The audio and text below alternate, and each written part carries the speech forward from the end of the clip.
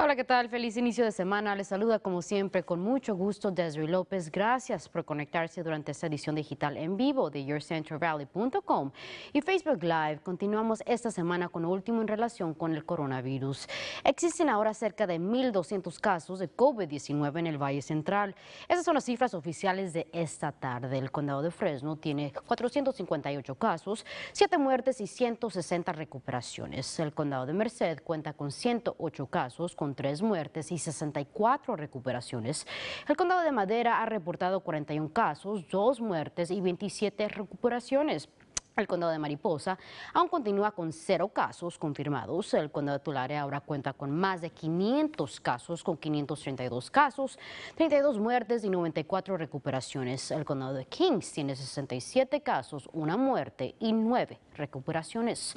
Funcionarios de salud del condado de Tulare reportaron el día de hoy que un tercer centro de cuidado de ancianos cuenta con un brote de COVID-19. Autoridades confirmaron que en 10 residentes de Linwood Meadows en Visalia fueron contagiados con el virus. Representantes del sitio dicen que aún siguen proporcionando las pruebas y que se percataron de lo que sucedía este domingo. El Departamento de Salud Pública reveló que están trabajando con empleados del centro y el Estado para asegurar que el protocolo correcto se siga.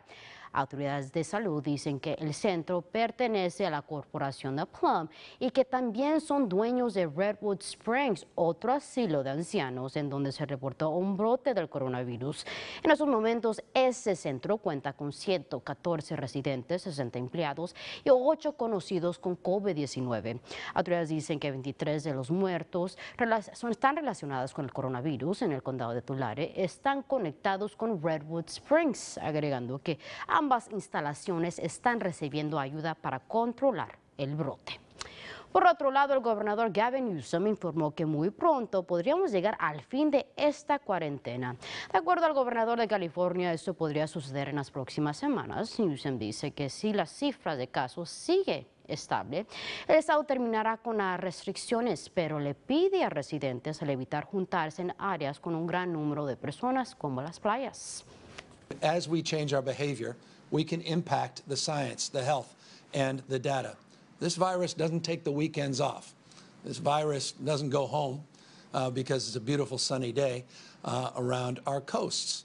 Uh, the likelihood of having a virus-free world is not realistic in the next uh, number of months. El gobernador también mencionó que el Estado está trabajando en procesar los reclamos de desempleo de millones de residentes. Ahora pasamos al norte del valle, donde líderes de Merced están intentando llegar a una solución que ayudará a dueños de pequeños negocios cuando la pandemia llegue a su fin. La idea es de que cada familia reciba una clase de cupón para usar en pequeños negocios.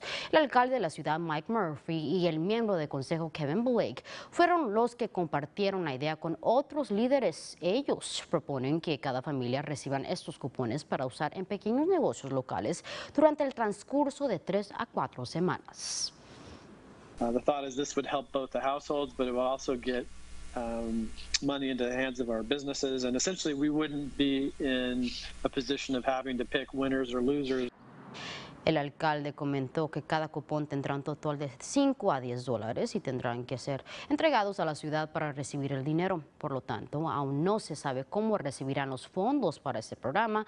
Otra opción que líderes de Merced presentaron fueron el de préstamos para pequeños negocios, alegando que si usted tiene una idea sobre programas que ayudarían a la ciudad tras la recuperación de la pandemia, no dude en comunicarse con ellos y los Centros para el Control y la Prevención de Enfermedades han agregado un número de nuevos síntomas a su página web en relación con COVID-19.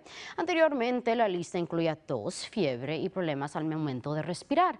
Ahora la lista actualizada incluye resfriados, dolor de cabeza, dolor muscular, dolor de garganta, pérdida de gusto o olfato. Estos nuevos síntomas son importantes porque se requiere que personas tengan algunos de sus malestares antes de recibir recibir una prueba del coronavirus. ¿Y cuáles serán los cambios climáticos que se aproximan esta semana? Para que nos cuente, pasamos con nuestro meteorólogo AJ Fox. ¿Cómo se ven las cosas, AJ? Uh, hola, Desiree. Uh, tenemos brisas hoy. Uh, mucho fuerte, no mucho fuerte, pero es ok. 13 millas por hora en Fresno, 14 millas por hora en Madera, 16 en Merced y Lamore y mayormente brisa del noroeste. Temperaturas cálidas, pero, no caliente, 86 grados en Fresno y Madera, 86 grados en Hanford, 85 en Visalia. Y el satélite Irada dice Mayormente soleado en el Valle Central, Futurecast dice igual para mañana, soleado en el Valle y mayormente soleado en las montañas y temperaturas van a estar en las 90, significa caliente, es mi definición solo. 90 grados en Fresno, 92 en Madera y Merced, 93 en Mendota y Los Banos. Y para los próximos siete días en Fresno, soleado y caliente el martes, mayormente soleado y todavía caliente el miércoles. Para el jueves y viernes la brisa va a empezar, eh, temperaturas van a estar más bajas. Este fin de semana va a estar más fresco, pero todavía un poco por encima del promedio.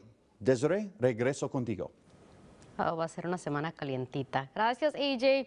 Los hoteles Hilton se han unido con la compañía Lysol y Mayo Clinic para crear una nueva forma de limpiar y desinfectar. El programa llamado Hilton Clean State tiene como objetivo limpiar aún más profundo las habitaciones de sus hoteles, como las manijas de puertas, los controles remotos, entre otras cosas. Huéspedes verán un sello que diga Clean State en sus puertas, indicando que la habitación no ha sido tocada desde que fue limpiada profundamente centros de ejercicio y otras áreas públicas también serán desinfectadas más frecuentemente. Y con las temperaturas subiendo, muchas personas están saliendo fuera de sus casas a pesar de la orden de quedarse dentro de sus hogares. De acuerdo al Departamento de Patrulla de Caminos del Estado, dieron más de 50 multas a conductores este fin de semana pasado por estacionarse ilegalmente cerca del lago Millerton. Algunas personas que viven en esa área comentaron que en los últimos días han tenido más problemas en relación con estacionamiento. What is up, Sunnyside Wildcats?